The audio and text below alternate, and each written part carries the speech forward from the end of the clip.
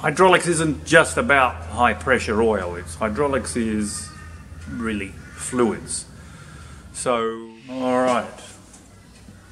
Weekend lesson.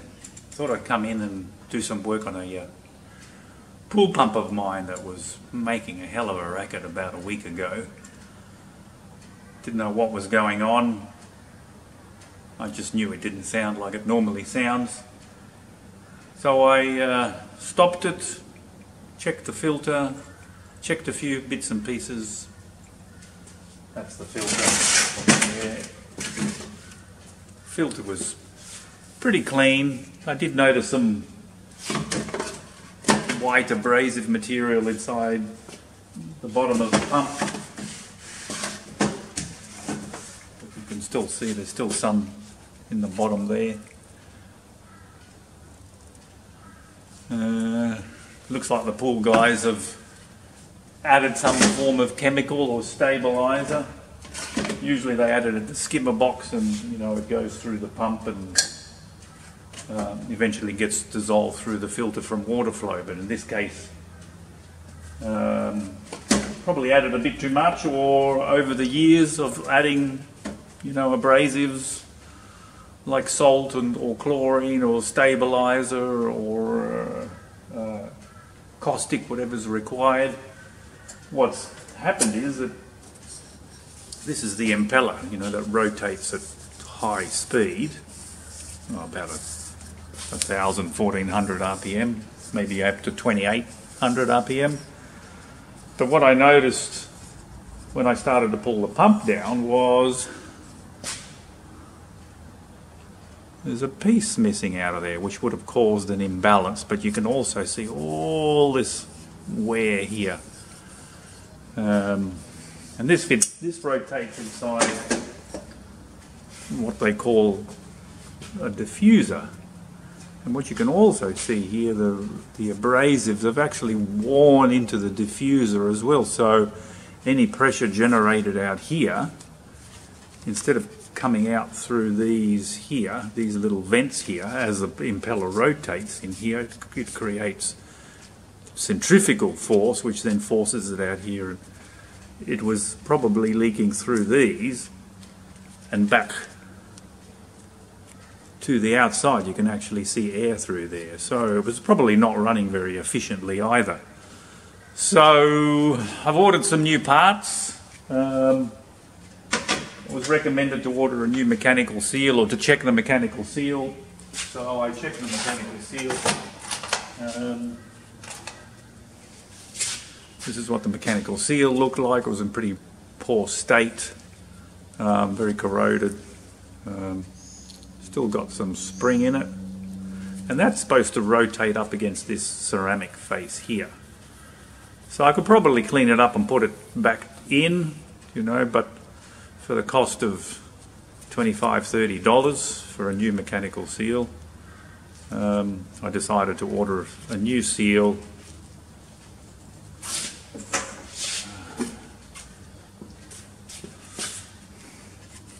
a new diffuser, another 25, 30 bucks.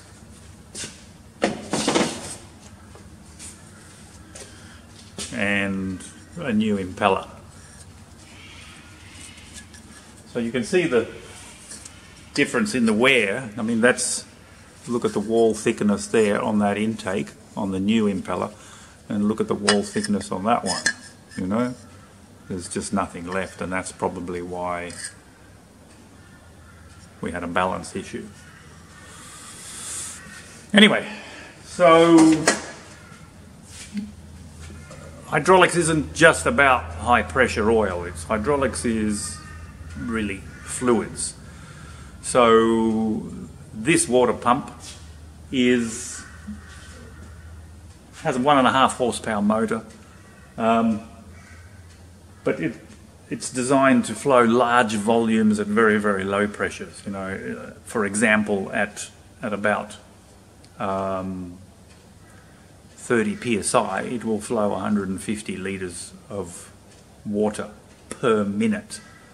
But if you reduce that pressure, in other words, you don't have to push it through very far, or a clean filter, for example, it could pump up to 450 litres per minute of water. So I bought this pump maybe three, four years ago, so it's done a lot of work, you know, running approximately eight hours every day. So it's pumped a massive, massive amount of um, water, eight hours a day, 400, you know, probably running around 200 to 300 litres per minute, eight hours a day. Just do the, do the math. It's millions and millions of litres that this pump has done in its uh, four years of operation.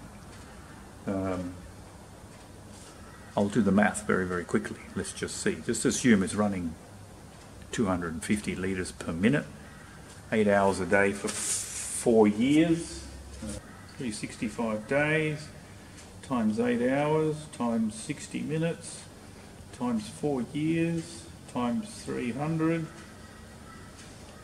210 million litres approximately. It's done in its four years of life. So it's done pretty good for itself. Um, and that's a slightly chlorinated, slightly salinated. Yeah, most of the pools um, in Australia, I think more of the modern pools now actually run a, a very salt, a very lightly salinated water, almost the salinity of a teardrop, supposedly. Um, very, you know, uh, lower concentrations of chlorine. Um, and they they run chlorinators that actually convert the salt into chlorine through a um, um, running an electrical current over titanium plates. That's all I know about these chlorinators.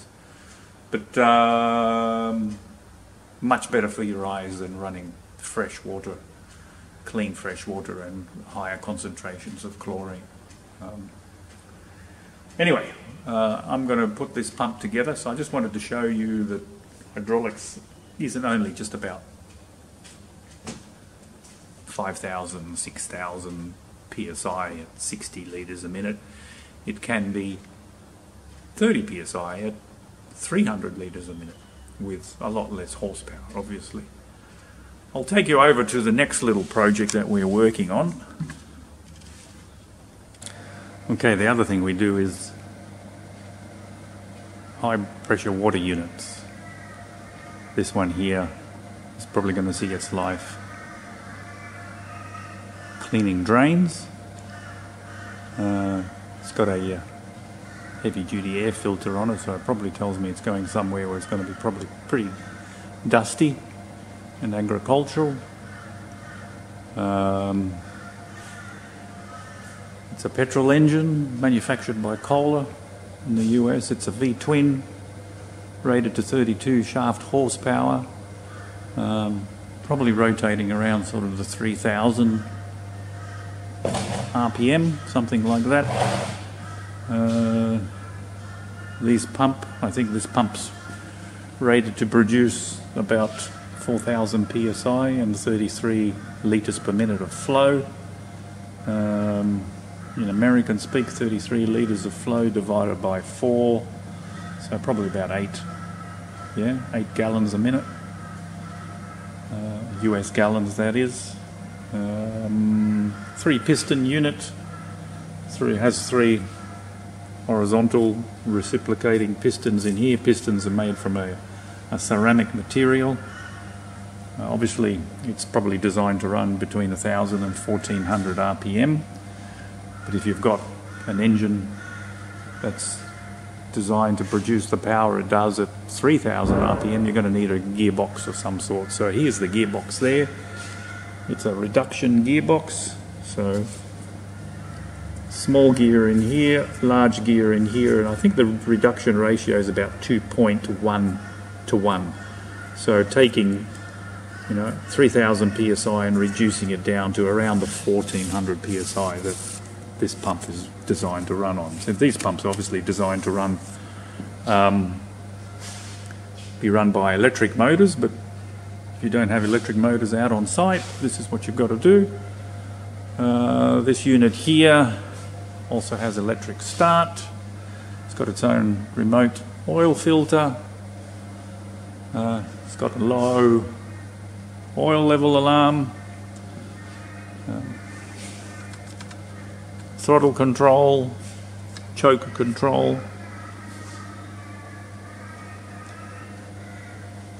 The only thing I don't like about this, I only just realised this when we mounted the muffler, is that the exhaust is going to exhaust straight onto the top of this um,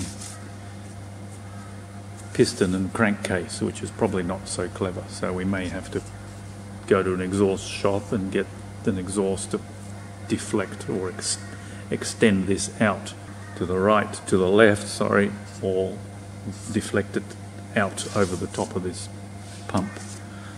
Um, so when we're talking hydraulics, again, it's not just high pressure oil. Uh, we high pressure water. So we've got 32 horsepower reduction gearbox producing 33 litres, 8 gallons per minute at 4,000 psi.